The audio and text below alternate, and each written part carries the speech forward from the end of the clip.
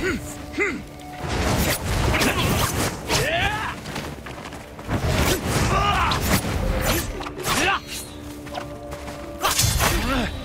way of the flame is unforgiving. Now, strike your sword against your piece of the rock.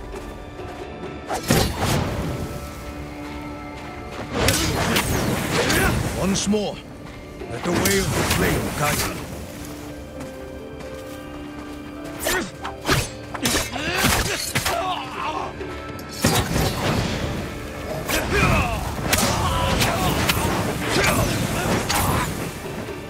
Our fight ends here, my lord.